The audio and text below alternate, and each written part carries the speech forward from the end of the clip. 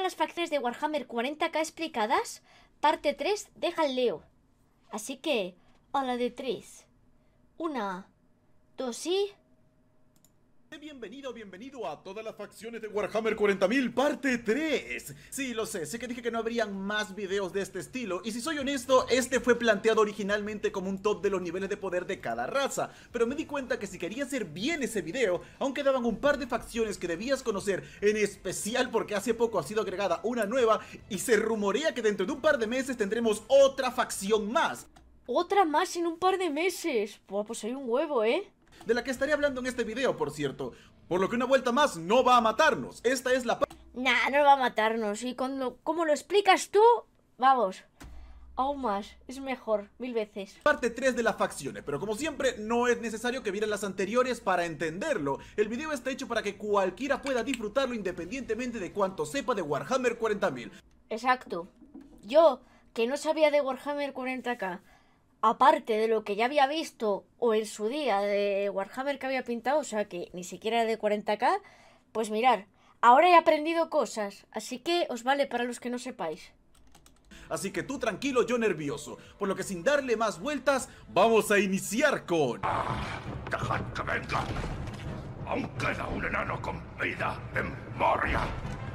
En la actualidad del milenio 42, el imperio de la humanidad ha sufrido un golpe letal, luego de la caída de Cadia, uno de sus mundos más preciados que vigilaba el ojo del terror, el portal que conecta nuestra realidad con el reino de las almas, la disformidad llena de demonios y corrompida por los dioses del caos logró romper su zona de contención y esparcirse por toda la galaxia, creando la cicatriz maledictum, permitiendo a las entidades más atroces y horrores ignotos surcar libremente nuestra realidad, sentenciando a un millar de mundos a la más cruda carnicería y condenando sus almas al tormento eterno. Pero como puedes ver, el punto más afectado de esta ruptura de la realidad ha sido el corazón mismo de la galaxia. Los demonios pensaron reclamar este los demonios y salen furros. Bueno. Habrá gente a la que le dé miedo los furros. Así que hay de todo. Como su dominio principal. Pero para su sorpresa, un muro de hierro, martillos y potencia de fuego como nunca antes se habían visto los detuvo en seco. Las razas observaron estupefactas como una legión de invencibles soldados emergían del corazón de la creación con el vacío corriendo en sus venas. Con la escena no me lo puedo tomar en serio. Eran las ligas de los Botán. Ok, ok. ¿Qué pasó aquí? ¿Enanos espaciales? ¿Ahora? Sí, bueno, déjame explicarte. Si regresamos a las raíces de la franquicia, descubriremos que Warhammer 40.000 inició como un spin-off de una obra conocida como Warhammer Fantasy. Lo sé, no se trabajaron mucho los nombres. Imagina el Señor de los Anillos, pero mil veces más violento, con el santo cuarteto de razas, humanos, elfos, orcos y por supuesto, enanos, luchando eternamente en un mundo en guerra. Posteriormente tuvieron la idea de tomar este concepto y lanzarlo al espacio convirtiéndolo en una historia de ciencia ficción, ya saben, martillo de guerra 40.000, dándole a cada raza su contraparte en este nuevo mundo. Los humanos ahora serían el imperio de la humanidad, los elfos serían los Eldar y los orcos pues serían mucho más graciosos. Todos y... Bueno, los orcos tenían su magia, la verdad. Mucha magia en general, sí. No me los esperaba así, porque claro, yo siendo horda del Warcraft, pues tenía otra imagen de los orcos que no esperaba que fueran así en el Warcraft. Pero bueno, o sea, en Warhammer esperaba otro tipo de orcos. Pero estos orcos son muy cómicos, parecen de cómic, ¿sabéis? Pero sí. y muchas gracias, Jinsa, por los mil vitazos para el PC. Muchas gracias, te pongo botitos. Muchísimas gracias. Hicieron el salto sin problemas. Todos menos los enanos. Games Workshop, la empresa creadora, no sabía muy bien cómo adaptar este concepto a un escenario de ciencia ficción. ¿Cómo funciona la idea de seres tan relacionados con las montañas y profundidades rocosas en el espacio? Su primer intento fueron los squats, que eran básicamente un chiste. Su propio nombre significa sentadillas o incluso rechonchos. Algo que, ok, iba un poco bien al principio cuando Warhammer 40.000 era más que nada una parodia, pero según este fue ganando seriedad, más vergüenza sentían los creadores de estos tipos. Intentaron reinventarlos en diferentes ocasiones, pero nada parecía funcionar. Oye, este concepto a mí me mola. Pero bueno. Por lo que tiraron la toalla y al final simplemente dijeron, ¿sabes qué? Todos se mueren. ¡Y ya está! Así se arregla. Como me dan vergüenza que salgan, los matamos a todos. Ah, bueno, pues podría ser yo perfectamente, sí. Si no sé arreglarlo, pues lo mato. ¡Hala! Arreglado. Sí, su mundo natal fue atacado por una horda de tiránidos quienes terminaron devorando hasta el último squad, ganando así la increíble habilidad de ser chaparros. Por mucho tiempo la gente creía que este fue el fin de los enanos espaciales. Digo, no lo habían logrado revivir antes, ¿por qué tendríamos que volver a escuchar hablar de ellos de nuevo? Aunque realmente insistían con todo el tema de los squad, la gente realmente quería traerlos de regreso al escenario y al fin, al fin, mucho tiempo después de su violenta desaparición y con incontables peticiones a sus espaldas, los enanos espaciales han vuelto y Dios santo de qué maldita manera.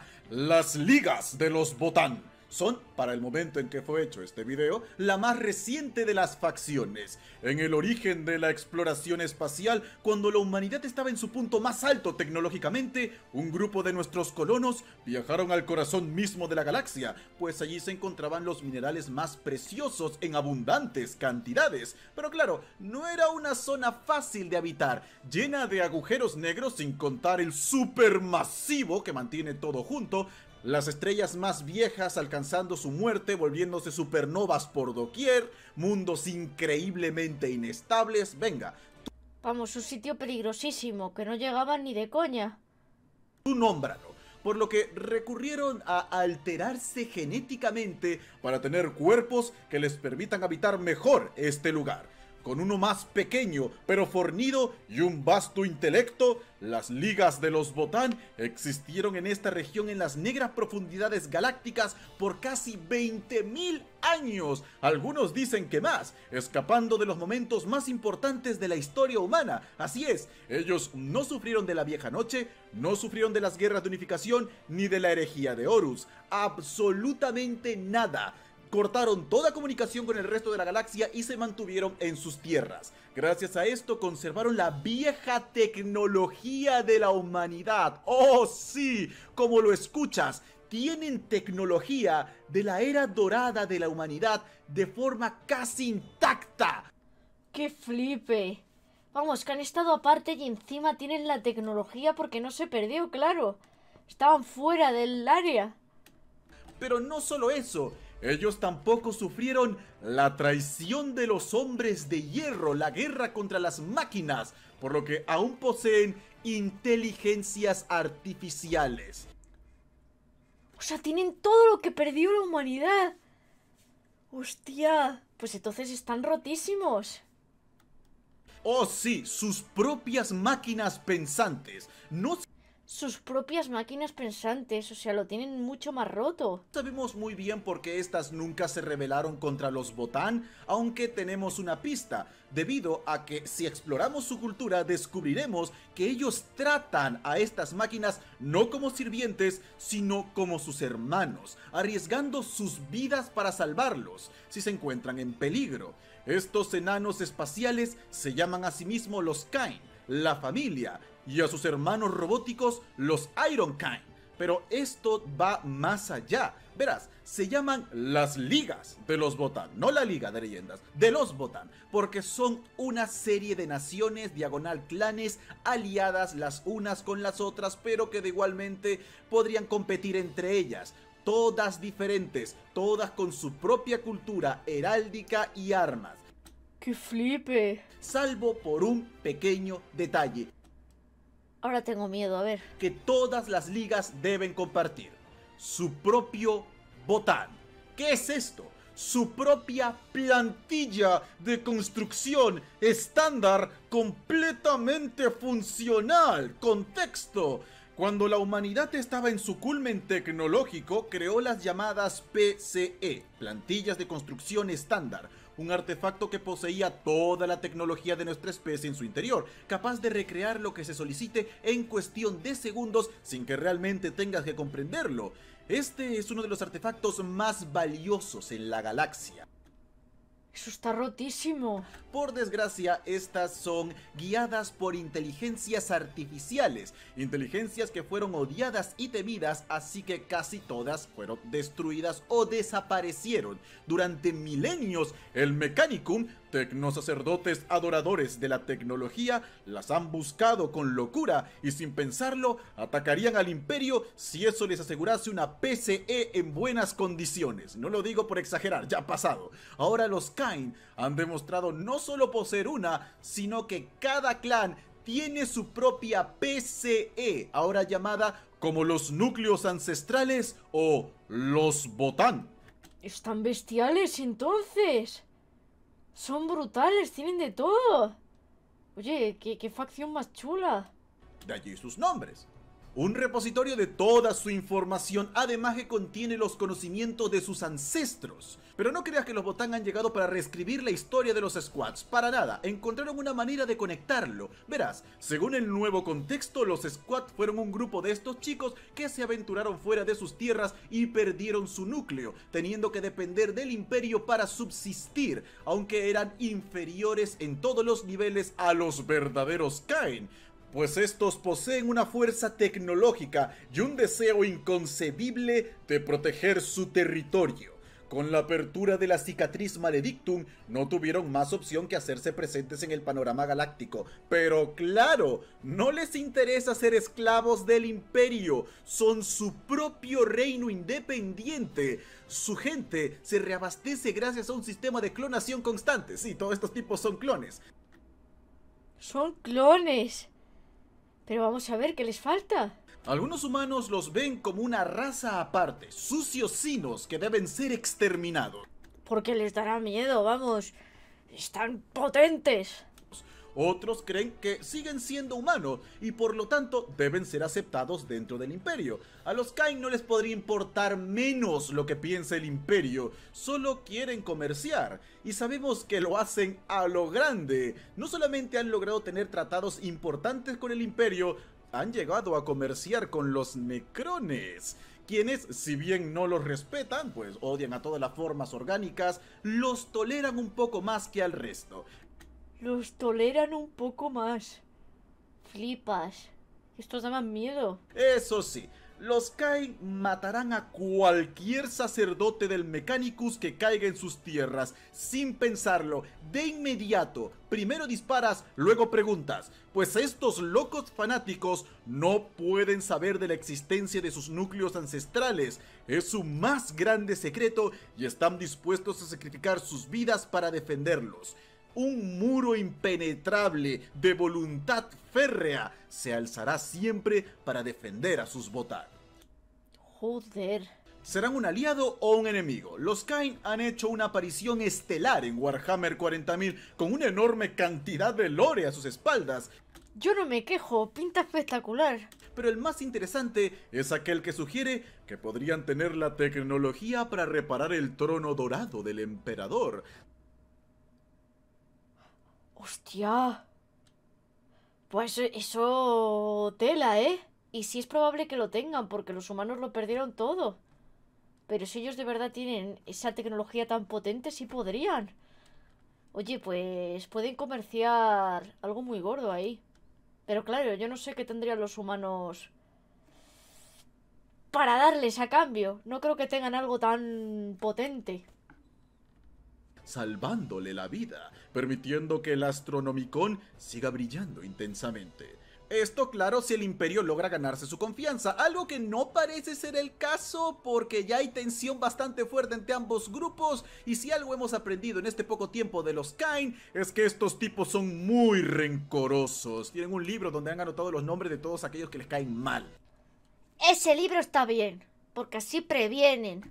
Por si acaso, oye, y una vez que esas personas y otras especies pues la, se hayan desaparecido y tal, pues ya pueden arreglar, ¿no? Ya se pueden hacer amigos. Ya se verá, ya se verá. Pero vamos, para cagarse. Ellos no necesitan grandes frases, solo una oración muy clara. Los ancestros nos observan. Un grito de guerra, un llanto de esperanza, una llamada de atención. Estos son los Kain y llegaron para quedarse. Tengo tantas ganas de dedicarle un video aparte solo a estos chicos. Son increíbles y mira su estética, enanos espaciales. Siempre he buscado algo así y al fin me lo entregaron. Luego de años salieron con la idea perfecta para los enanos en el espacio. Pero ahora es momento de dejarlos en las peligrosas entrañas de la galaxia y explorar otra facción relativamente joven. Un rayo de esperanza para una raza condenada. Oye, pues me han encantado los enanos, ¿eh? Son brutales. Bueno, los Kain. Me molan mogollón. La verdad, no me los esperaba tan chetos y no esperaba lo de la tecnología para nada. Gente, es hora de hablar de... ¡Tráiganme a Los Eldar son una raza desdichada, posiblemente la más desdichada de Warhammer 40.000. Ellos lucharon en el principio de los tiempos en la llamada Guerra en el Cielo o Guerra Celestial, el conflicto más brutal que ha conocido la galaxia, siendo los grandes ganadores. Todos sus enemigos desaparecieron y gobernaron durante millones de años sin que nadie se atreviese a enfrentarlos. Esto hizo que se aburrieran y con el tiempo cayeron en el hedonismo más repugnante, buscando el placer mediante el dolor, principalmente el causado a otros, pero de la peor forma posible, me refiero a las peores, más aberrantes, repugnantes e inhumanas torturas que puedas llegar a imaginar. Todo esto por millones de años hasta que estas pegajosas emociones se reunieron en la disformidad, el reino de las almas, creando al dios del caos, Slanesh, Exacto. el príncipe del exceso, el cual destruyó su imperio, mató al 90% de su especie y los dividió para toda la eternidad. Todo tranqui. Pero eso no es lo peor. Cada Eldar está ligado a Slanesh. Esta sabe espe- especialmente qué siente cada uno en cada momento. Así que sabe perfectamente cómo tentar a cada uno de ellos. Debido a esto, los Eldar astronaves y exoditas han recurrido a un extremo régimen disciplinario para evitar que sus emociones se desenfrenen. Mientras que los Dark Eldar, los Drukari, optaron por saciar al príncipe del exceso, cometiendo todo tipo de aberraciones. Cómete su alma, no la mía. Aunque esto es solo atrasar lo inevitable. Al ser parte uno del otro, cuando un Eldar muere, no importa las circunstancias, no importa quién sea, su alma viajará Aquí no hay chichis. Ah, bueno, vale. Estoy toda atenta escuchándole y de repente veo el texto. directamente ante Slanesh para ser devorado por toda la eternidad. Podría ser el héroe de mil campañas y no importaría. Este es tu destino. Básicamente son una especie condenada. ¿Cómo traer hijos al mundo sabiendo que cargarán con tal tormento? Durante los últimos 12.000 años, los grandes eruditos Eldar intentaron escapar de este destino. El más grande de todos, el poderosísimo Eldrat, vislumbró una pequeña esperanza. Verás, a ellos se les ocurrió crear algo llamado el circuito infinito. Al morir, el alma de un Eldar es atrapada en una piedra que debe cargar consigo en cada momento. Luego, esta piedra se une al circuito infinito, permitiendo que el alma escape de Slanesh por un tiempo. Ah, por un tiempo, o sea que no se quedan ahí siempre. No es un paraíso, es más que nada un limbo.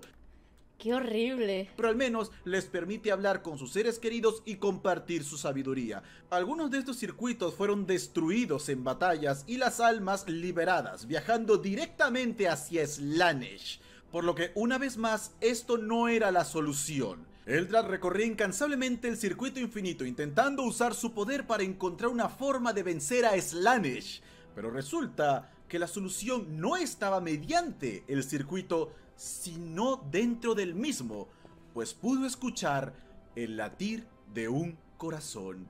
Era un nuevo dios naciente, Otro dios. el dios de la muerte, Eldar. Eldrat tuvo una visión. Este dios de la muerte triunfante sobre el cadáver de Slanesh, su gran salvador. Por desgracia, para despertar a este ser, se necesitaría de todas las almas de cada Eldar en la galaxia. Pues entonces se van a extinguir. Oh, sí, toda su especie debería entregar la vida para conseguir su libertad. Eldrad supo que este era el único camino que les quedaba, por lo que intentó realizar este acto en contra de los deseos de sus compañeros, pero fue detenido por el imperio de la humanidad. Aún así, aunque el ritual no fue capaz de despertar por completo a este dios, sí logró concederle una conciencia en un destello de esperanza. Ineat, el dios de la muerte, recorrió el universo, escuchando los incontables gritos de agonía de los Eldar, y dijo, no más. Eligió a una campeona, la poderosa Ibrain, quien se encontraba al borde de la muerte, convirtiéndose en la primera y más poderosa de los Inari, la perdición de Slanesh quien inmediatamente, sintiendo el peligro, mandó a sus demonios que acabaran con esta guerrera. Muchos de los compañeros de Ibrain cayeron ante este ataque, pero no le temería la muerte nunca más. Con sus poderes revivió a los hermanos caídos con un alma limpia y nunca más estarían ligados al gran enemigo. Habían renacido en cuerpo y espíritu. Aquellos que no podían volver se fusionaban con los resucitados, aumentando su poder y habilidad a niveles inconcebibles, negándole su premio al dios oscuro. Slanesh observó estupefacta cómo las almas de los caídos no viajaban ante su presencia, sino que se unían a Ibrain brindándole más poderes. ¡Qué horrible! Vamos, es su perdición. Ibrahim procedió a esparcir la palabra de Ineat entre sus hermanos. No sería necesario el gran sacrificio de su especie. El alma de sus caídos nunca más terminaría en las manos del príncipe del exceso. Conocerían la resurrección y serían limpiados de sus faltas. O serían absorbidos por sus hermanos y su fuerza y conocimiento serviría para guiar las siguientes generaciones creando de esta forma una legión de guerreros de poder y sabiduría descomunal. Eldrad supo que lo había conseguido, había despertado la esperanza entre los Eldar. Muchos se negaron a reconocerla como la salvadora, eso sí, entre ellos el gran señor oscuro de los Drukari, Asdrubal Beck quien les declaró guerra y ahora mueve los hilos para causar la caída de la alta sacerdotisa, pero otros tantos vieron en estos Inaris una salida al tormento. Eldars Astronave, Exoditas, Arlequines, incluso Drukaris, quienes declararon que una vida torturando a las otras razas no los llevaría a ningún lugar, solo perpetuaría el poder de Beck y condenaría a su especie. Dejaron de lado sus antiguas enemistades y marcharon juntos detrás de la poderosa Ibrain los grandes señores Fénix, el equivalente Eldar a un primarca y de los que ya hablaremos en otro momento, Oh, esto es epiquísimo. Decidieron prestar sus servicios también. Incluso Lilith Esperax, la más grande asesina que ha conocido la galaxia, ha jurado lealtad al dios de la muerte. Durante la llamada caída de Bieltan, el mundo astronave más poderoso, Ibrain tomó todas las almas del circuito infinito para permitirle a su dios manifestarse en el avatar de la muerte Incarne. Ahora todos pueden ver que esto no es un culto, es una verdadera esperanza. Su dios vive y vigila a sus seguidores. La leyenda cuenta que si estos guerreros logran encontrar cinco espadas de los viejos dioses Eldar, podrán forjar el arma definitiva para matar a la mismísima Slanesh.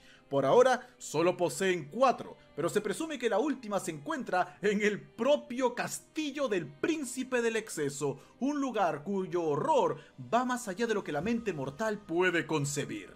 Hostia, lo tiene guardada.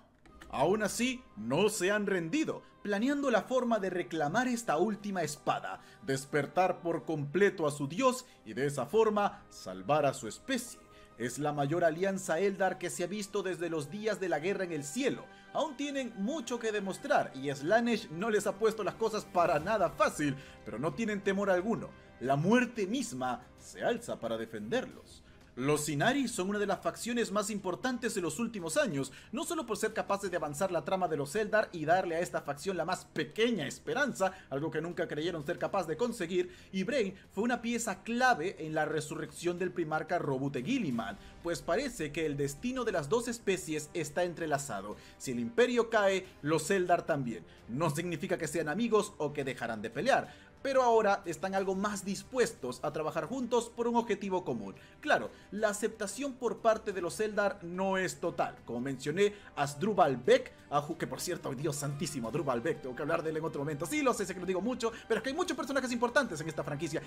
Sí, lo he notado, bastante. Y Asdrubal Beck es uno de mis favoritos. Ese bastardo tiene un cerebro galaxia inconcebible y una imaginación horrenda y retorcida ha jurado que tomará la cabeza de Ibrain, y siendo una de las personas más inteligentes que han existido, pues lo veo bastante posible. Pero también en otras facciones Eldar, los Inari son vistos no como salvadores, sino como el final de su especie, cadáveres andantes que devoran las almas de sus seres queridos, por lo que aún tienen un largo camino por recorrer. Solo el tiempo nos dirá si estamos ante una esperanza verdadera o el final de una especie.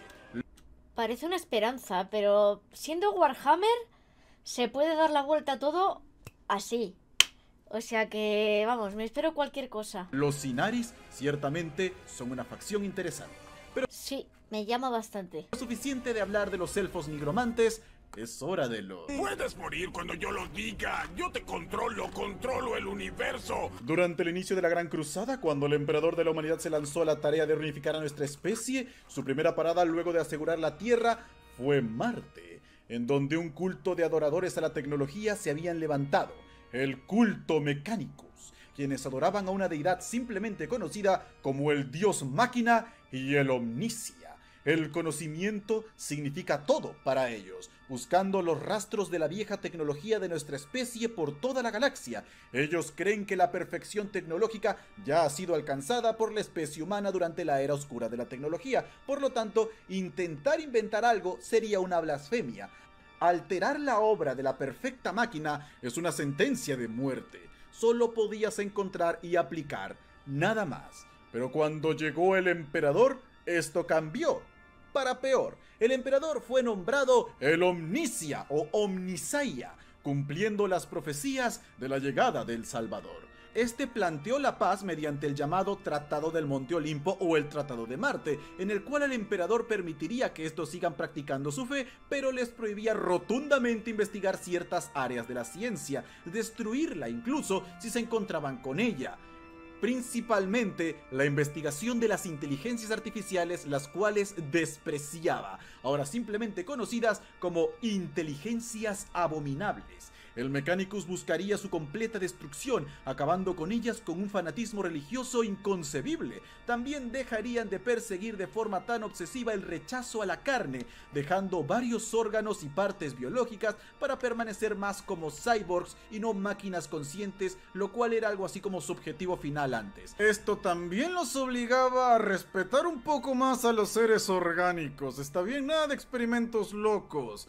A pesar de que muchos aceptaron al emperador como el omnicia y el desprecio a las IAs como algo justo, otros no. Susurraban por lo bajo que este hombre les estaba engañando. No era el Salvador, no podían negar la perfección de la máquina cerrándose a áreas de la ciencia. Claro, es que no podían cambiar de golpe, tenía que haber una facción que no le gustara nada lo que estaba diciendo el emperador porque ellos veían ahí todo a la perfección. Y no puedes hacer que cambien así. Así, las máquinas ahora son malas, ¿no? No, no. La ascensión al metal. No importaba que el emperador dijese que ahora ambos planetas son iguales y que su logo, el águila, se convertiría ahora en el águila imperial. Una cabeza para la Tierra y una cabeza para Marte. No, este hombre les estaba mintiendo. Y una de las personas que creía esto era Kelbor Hall un superprodigio, un genio sin igual que ascendió en la jerarquía del Mechanicus hasta convertirse en el fabricador general de Marte. En secreto creía que el Tratado del Monte Olimpo no fue una negociación entre dos bandos parejos, fue un ultimátum por parte del emperador. Realmente nunca tuvieron más opciones que unirse. Cuando estalló la herejía, el architraidor Horus Lupercal prometió a aquel Borjal tecnología nunca antes vista y completa independencia del imperio si éste aseguraba su lealtad y la del Mechanicus en la guerra civil. Después de mucho meditar, éste aceptó, viendo ahora su oportunidad de libertad. Comenzó un evento conocido como el Gran Cisma, o como quedaría grabado en la mente de los tecnosacerdotes, el fin de la infancia, una guerra civil que dividiría el Mechanicus de Marte, liderando a los titanes, las armas más poderosas del imperio, estos Heretex causaron una devastación como ninguna otra, ayudando a limpiar el paso al señor de la guerra. Su destino fue sellado cuando un grupo de ellos creó una Silica Animus, una inteligencia abominable, su inteligencia abominable. Fue de esta manera que nació el Mechanicum Oscuro, o como ellos decidieron llamarlo, el verdadero Mechanicum. Uno libre de cualquier regla, o peor aún, cualquier moral. Pues si de por sí ya los cultistas clásicos tienen poco respeto por la vida humana, estos tipos ni siquiera ven al resto como parte de la misma especie. Ante sus ojos, los seres orgánicos son cerdos en su matadero para usar como se les plazca. ¡Qué horrible! Algunos se fueron a los rincones más lejanos de la galaxia, pero el verdadero corazón de esta facción se encuentra en el ojo del terror, pues Kel Borjal sintió enorme interés por los demonios, por la creación de un ser perfecto, una unión de máquina y carne y demonio como nunca antes se había visto usando las más retorcidas tecnologías y los poderes de los dioses del caos, estos Heretex ahora son los responsables de la industrialización del infierno. Sus creaciones son pesadillas incluso entre los demonios y las pobres almas que caen en sus manos. Bueno, digamos que existe una fuerte discusión de cuál es el peor destino, caer en los Drukari o terminar como un conejillo de India de los Dark Mecánicos. Pues es difícil, la verdad, decir uno de los dos. A pesar de que no existen muchos de ellos en la galaxia, por lo Ya, pero dan un miedo que te flipas. menos no se ha manifestado en tales cantidades como otras facciones, cada que lo hacen es para protagonizar una historia que revuelve el estómago. Quizás su trabajo más sonado en los últimos años fue la ayuda que prestaron a los guerreros de hierro en su proyecto Demonculaba, la creación de nuevos marines usando mujeres grotescamente mutadas para... mm, Bueno, ya hablaremos de eso en otro momento. Vale, o sea, en otro momento nos van a hablar de mutaciones también. Vale, más aparte. Sin dejar de lado que siguen buscando la inteligencia artificial definitiva, el verdadero espíritu del dios máquina. Sus ingenios demoníacos han logrado corromper incluso a los titanes que se alzan sobre el horizonte como una montaña de herejía. El Dark Mechanicum suele ser visto como una facción menor dentro del juego de mesa, casi no tienen miniaturas y durante mucho tiempo solo brillaron en los libros, pero en la actualidad pistas apuntan a que esto está por cambiar. Extrañas sombras se presentaron ante el poderoso Abaddon el Saqueador, señor de los marines del caos. Oye, pues si salen maquetas de, de esta facción, voy a estar atenta, ¿eh? Porque tiene pinta de molar un huevo. Ofreciendo Dan miedo, pero a ver, molar, molan un huevo. Y para pintar tiene que ser cojonudo. un acuerdo y una poderosa creación. Los rumores apuntan a que este es el mismísimo Kel Borjal, quien se especula estaría regresando luego de milenios de experimentación para presentar su obra maestra. De ser así, qué momento para ser fan de 40k, pues estaríamos presenciando el ascenso del Dark Mechanicum y un segundo cisma que amenace con condenar para siempre las almas del Mechanicus de Marte.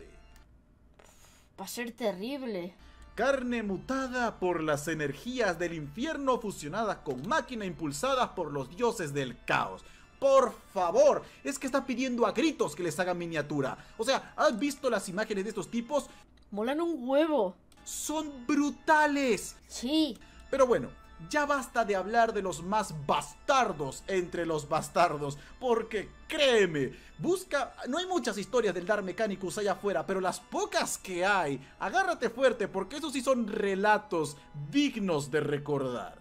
Pero bueno, no nos adelantemos tanto una vez más, se especula muy fuerte que podrían ser ellos los siguientes en llegar, pero quizás no, como sea. Ojalá. Como sea. Ya vimos el bajo más bajo. Ahora, veamos al contrario. Veamos al... Yo quiero un héroe, esperaré por un héroe hasta el amanecer. Ok, los Tau son una facción que me han gustado mucho en Latinoamérica. Los otakus. Fueron creados para ser los chicos buenos, aquellos que buscan la unidad de todas las especies bajo el llamado Bien Supremo, una doctrina que indica que el universo es suficientemente grande para todos y cada uno de los seres vivos, que debemos esforzarnos para contribuir lo máximo en la comunidad galáctica. De momento son los que mejor me caen. De momento. A lo mejor luego en alguna historia o en algo que ocurra pasa algo muy tocho y digo, ay no. Ay no. Con esto en mente han comenzado la expansión de su imperio, intentando anexar las otras razas para lograr este bien supremo. Los Tau son quienes deben encarar la oscuridad de una galaxia ahogada en la guerra, enfrentando valientemente cualquier amenaza, recurriendo a su increíble tecnología para defender el imperio Tau. Y hasta cierto punto lo consiguen. Pero también ha terminado por pasarles factura y para peor. Los Taus actuales son mucho más violentos con las otras razas de lo que eran al principio. Múltiples encuentros Oh. encuentros que terminaron en masacres han acabado con gran parte de su optimismo, sin hablar del enorme fracaso que fue su experimento para utilizar motores disformes y de esa manera movilizarse más rápido por la galaxia. Un experimento que podría o no haber terminado en la creación de un dios del caos, o por lo menos el principio de un dios del caos del bien supremo. Algo que los chocó especialmente porque los Taus son ateos, ellos no tienen deidades y Joder, imagínate. Ser ateo y estar a punto de crear un dios. Ahora había una entidad de la diformidad que representaba su bien supremo de una forma grotesca y retorcida. Qué flipe. Razón por la que comenzaron a exterminar a todos los humanos en sus filas, pues creyeron que eran la visión de los humanos del bien supremo aquel que había creado a esta entidad tan aberrante. Ah, le echaron la culpa a los humanos. causando una crisis existencial a nivel especie. Pero aunque muchos se dieron ante el horror del infinito, uno se mantuvo firme ante la oscuridad. Para muchos, el único personaje verdaderamente bueno y noble en Warhammer 40.000. Alguien que no guarda un rastro de rencor en su corazón y que genuinamente desea la unificación de la galaxia. Shas-O Biorla Shoba Kais Montir, también conocido por los suyos como Oshoba o por la galaxia como el comandante Farsight. Este tipo es un gigachat. Es lo más cercano que tendrán los Tau a un primarca. En su época fue el máximo héroe del imperio Tau. Su apodo, Farsight, fue otorgado debido a que, a pesar de que su inmensa fuerza física era sobresaliente entre los miembros de su especie, su principal arma era su mente. La capacidad para analizar al enemigo era tal que casi parecía poder ver el futuro. Las victorias de Farsight para el imperio fueron tales que se levantaron estatuas en su honor. La gente entonaba canciones en su gloria y cuando terminó la campaña del Golfo de Damocles, el primer encuentro entre los Tau y el imperio de la humanidad, fue a Farsight quien enviaron para recuperar los mundos perdidos a manos de la humanidad Qué flipe. O sea, era el proazo de la facción. consiguiendo la victoria en tiempo récord. Pero Farsight era un Tau especial. Verás, esta facción está dividida en castas. Farsight era de la casta del fuego, la casta guerrera, y la casta dominante entre todas era conocida como los etéreos. Fueron ellos quienes unificaron a los Tau en un principio y esparcieron la palabra del bien supremo. Hasta allí estuvo muy bien, pero comenzaron a llenarle la cabeza a los Tau de que todo lo que consiguieron y siguen consiguiendo es solo porque los etéreos están allí para guiarlos, que sin ellos caerían una vez más en la barbarie. Incluso un guerrero como él debía mantener en su nave un grupo de etéreos en cada momento. Eran ellos quienes controlan el destino de toda esta especie. El maestro de Farsight, el mejor general de su época, fue uno de los pocos que se atrevió a sugerir que quizás los etéreos no eran tan puros como se creía, que quizás no se los necesitaba. Ese era listo. Vamos. Por algo lo dijo. Fue extrañamente herido en una batalla, Ah, casualmente pasaba por ahí y se cayó sobre una bala. Y bueno, pasaron cosas. Por no decir que reventó. Pero antes de morir logró darle sus últimas palabras. No confíes en los etéreos. Ahí está. Por algo fue.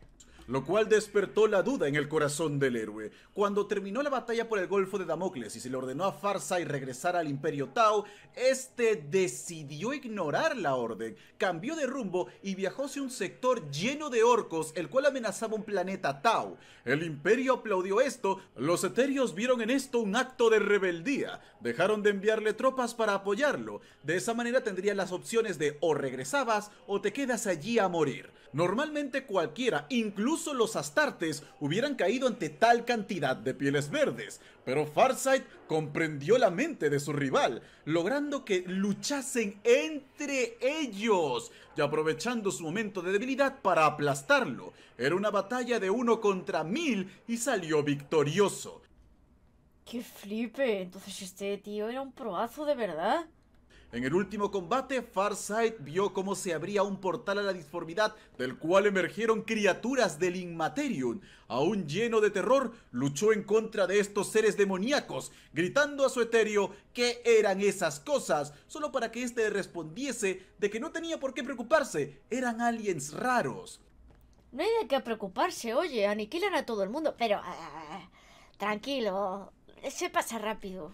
Esto fue la gota que colmó el vaso. Farsight venció a los demonios, aunque sus etéreos murieron en el conflicto. Debido a esto, y lo lejos que se encontraban de cualquier mundo Tau, se creyó que no tendrían oportunidad, que habrían muerto. Lloraron la pérdida de su héroe. ¿Qué Tau podría sobrevivir sin su etéreo? En el Él, que es un proazo. Vamos, es que no hay otro como él. Tal y como lo cuenta, no puede haber otro. peor de los casos, ahora se habrían vuelto todos locos.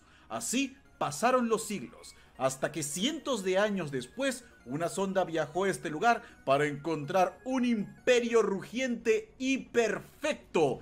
Eran los enclaves Farsight, liderados por el mismísimo comandante. Esto fue un shock. ¿Cómo era posible? ¿Cómo un Tau sobrevivía más de 300 años de guerra?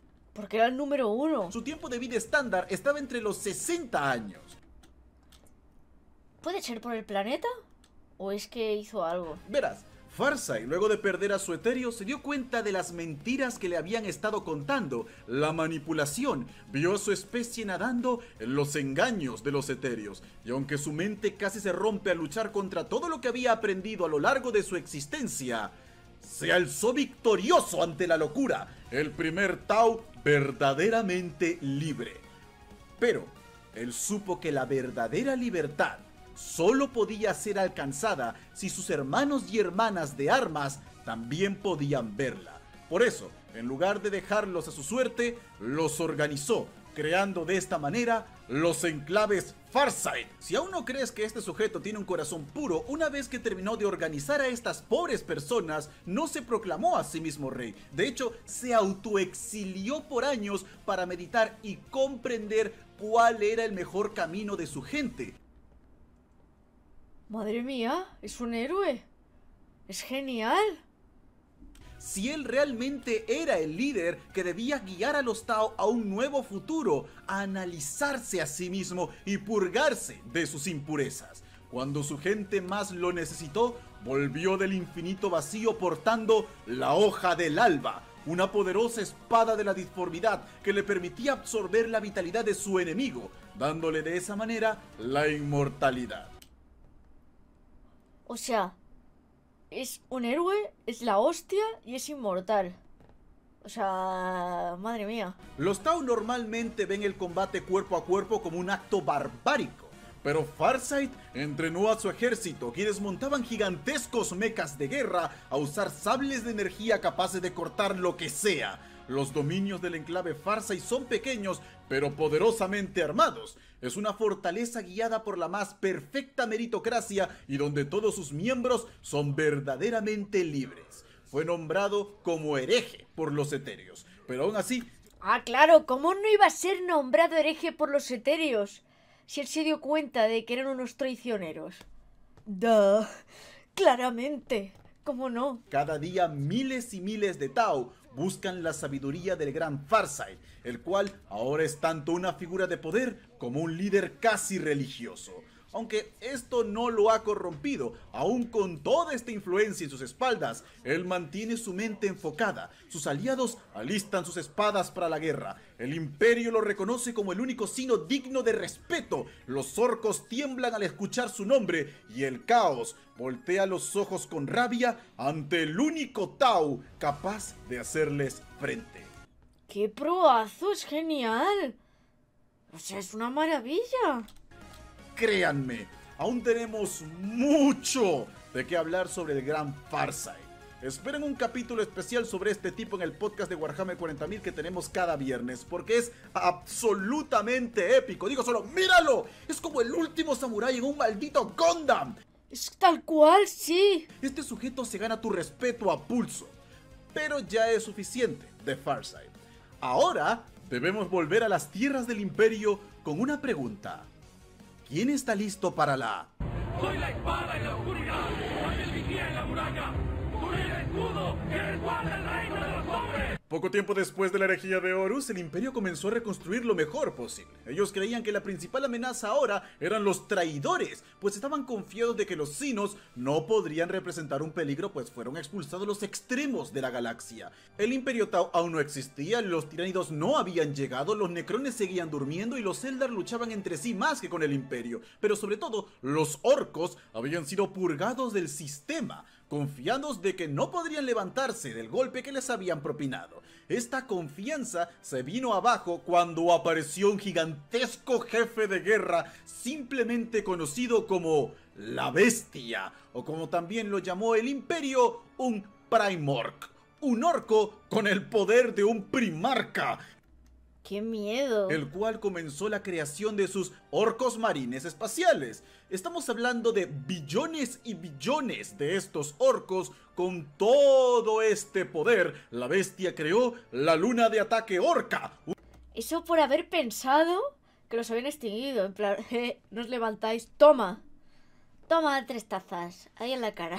Un cuerpo celeste de proporciones bíblicas lleno de armas. Logró romper las defensas del imperio, destruyó gran parte de la luna, legiones tras legiones de marines espaciales, guardia imperial, titanes del Mechanicus fueron liberados para darle un alto, pero fueron absolutamente aniquilados ante el avance de los pieles verde, quienes terminaron asediando la mismísima Terra buscando acabar con el emperador. Esta fue la guerra que le enseñó al imperio volver a temerle a los orcos, Normal, por tenérselo creído. pues los horrores que liberaron han quedado grabados a fuego en la memoria de los defensores. Solo con el sacrificio del primarca Vulcan, quien logró poner fin a la bestia a cambio de su vida y la defensa perfecta de los puños imperiales, hijos de Rogal Dorn, lograron acabar con este Wag.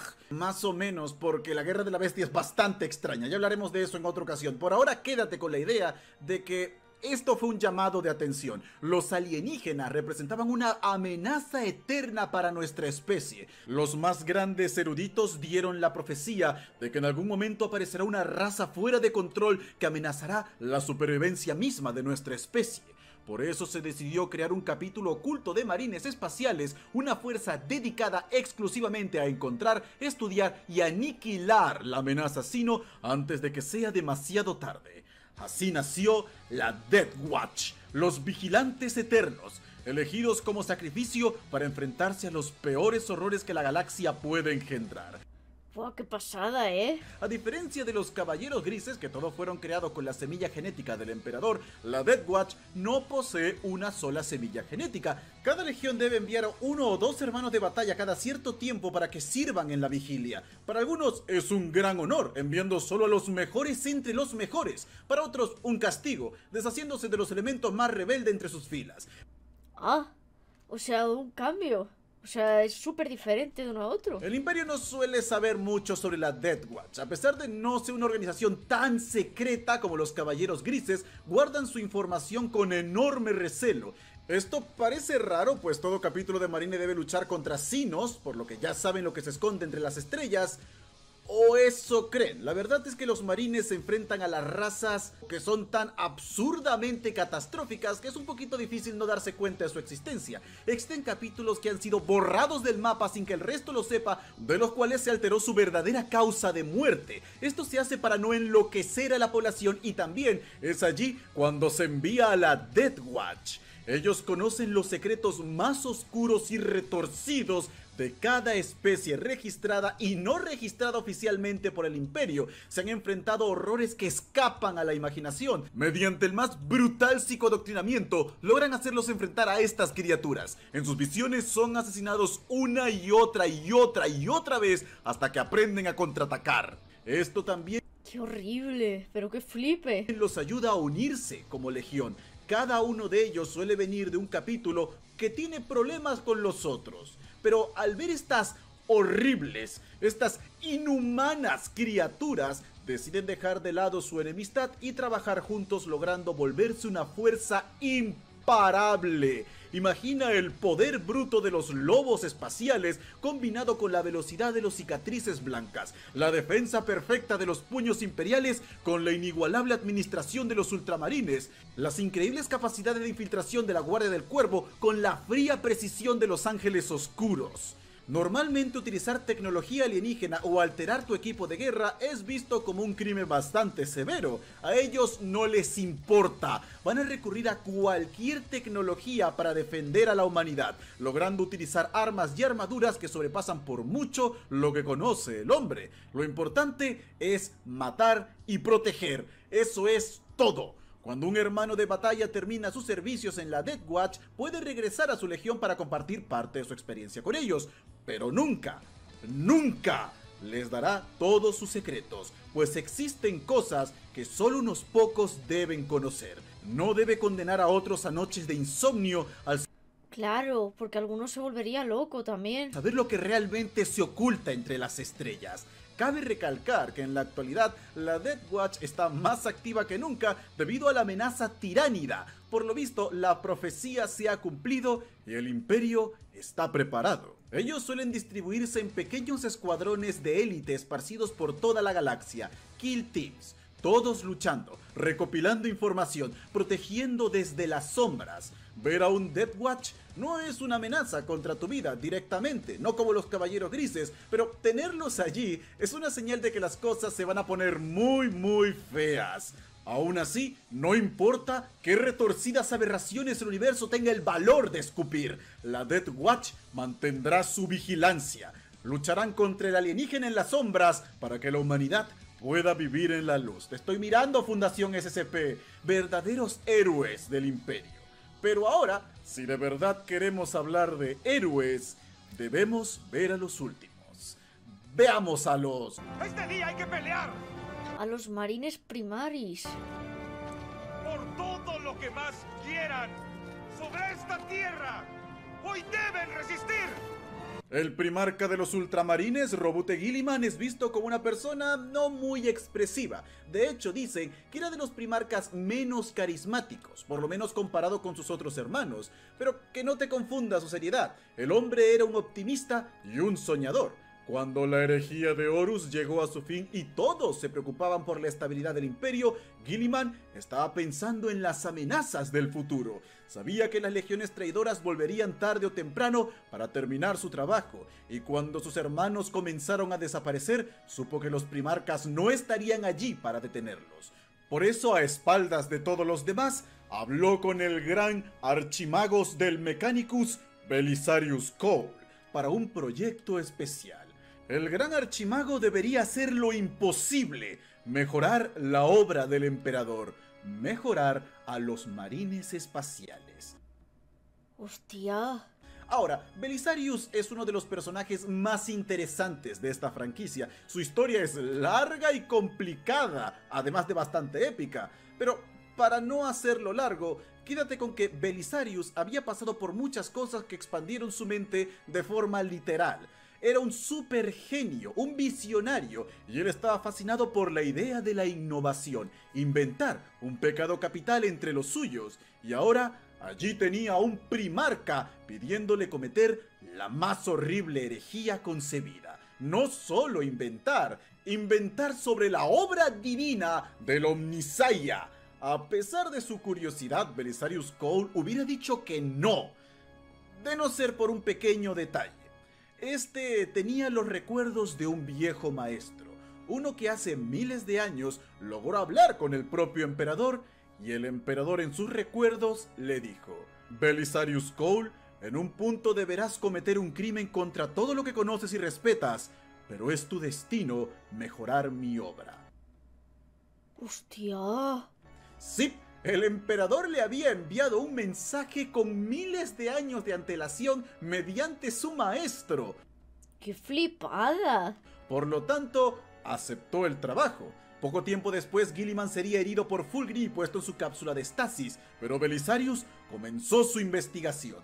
10.000 años de trabajo en secreto en los laboratorios prohibidos de Marte, repasando demenciales cantidades de información proporcionadas por el primarca, junto con el estudio de las nueve semillas genéticas, 10.000 años de fracaso, frustraciones, noches sin dormir, el estrés de sostener el destino de la humanidad en tus hombros, la sensación de traicionar a tu Dios, 10.000 años de tortura que hubieran quebrado la mente de cualquier hombre. Pero Belisarius Cole no es cualquier hombre. Él estaba por sobre todo esto. Su voluntad se sobrepuso y así, luego de incontables noches, lo consiguió. Justo a tiempo para la treceava cruzada negra. Él ayudó con la resurrección del primarca, el cual vio al imperio debilitado, frágil, al borde de la muerte y ahora rodeado de enemigos. Muchos creyeron que ni siquiera con Gilliman de su lado podrían conseguirlo, pero entonces las rojas arenas de Marte se abrieron, dando paso a la Fundación Última, despertando a estos nuevos héroes, los marines espaciales Primaris, más grandes, más fuertes, más rápidos e inteligentes que sus hermanos primernacidos. Esta legión de héroes absolutos portaban armaduras mejoradas por el propio Belisarius, capaces de soportar infiernos, armas que los convertían en verdaderos dioses de la muerte, lanzando venganza contra los enemigos de la humanidad. ¡Qué épico! Belisarius había logrado reconstruir tecnología que el emperador usó para crear a los primarcas y aplicarlo a estos soldados. Ojo, no son tan fuertes como un primarca, pero ciertamente estarían muy por encima de un marine normal. Estos refuerzos plagaron la galaxia, llegando a un millar de campos de batalla, volteando las mareas de la guerra y salvando incontables vidas. El Mechanicus de Marte exigió la cabeza de Belisarius Cole por esta herejía. Muchos capítulos de Marines se encontraban repugnados por lo que veían una ofensa a la obra perfecta del emperador. Algunos los intentaron purgar. No sería hasta que los propios custodes, la guardia personal del emperador, sentenció que estos nuevos hermanos eran más que necesarios. Eran los enviados del emperador y su deber era aceptarlos.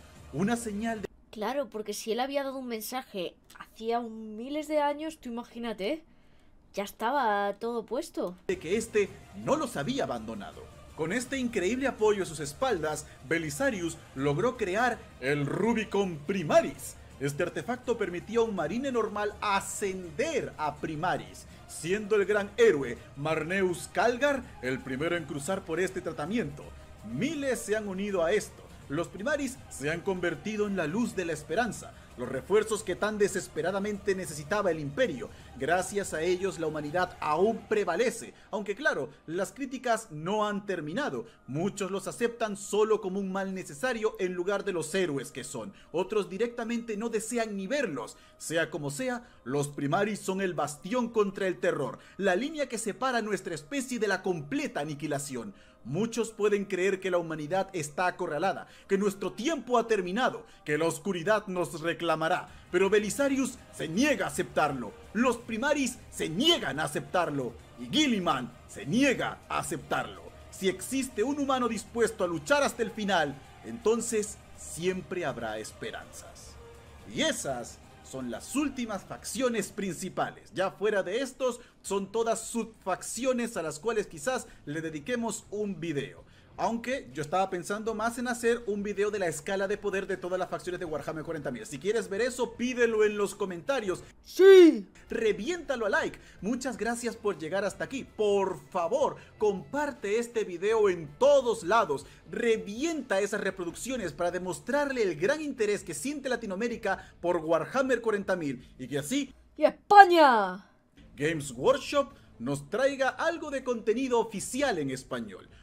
Ojalá, ojalá te oigan. Ojalá. Muchas gracias por todo su apoyo. Gracias por todos sus ánimos. No se olviden del podcast que tenemos para los nuevos los viernes por si quieres saber un poco más de este increíble universo. Yo por ahora me despido. Recuerda, nunca perder la esperanza. Amdiom, samdiom, samdios. Hola, soy... Pues muchas gracias a Halleo por todas las facciones de Warhammer 40k explicadas. Os lo dejo en el chat, ¿vale? Por si queréis darle me gusta y comentarlo, la verdad es que ha sido un flipe. Lo he explicado brutal. Y buah, hay cada facción genial y no me esperaba para nada lo de los enanos. Lo de los enanos me ha dejado marcadísima. Y el héroe de los otakus, es que es totalmente de anime. No sé, ha estado brutal, ha estado brutal. Me ha encantado. Y ojalá se animen a sacar muchas más cosas. Y ojalá lo quieran llevar a la ATAM en español, por favor. Porque es una pasada. Aquí en España sí que tenemos maquetas y demás. Pero la verdad es que molaría más que hicieran muchas más cosas y trajeran muchas más cosas. Porque es que está brutal. Está magnífico. Uy, vamos, se me han puesto los pelos como escarpias. Así que muchas gracias, Isos, por haberlo visto conmigo. Muchas gracias a Jaleo por el pedazo de vídeo que se ha marcado. En un futuro, si saca el de las subfacciones, lo veremos también. Así que muchas gracias por acompañarme.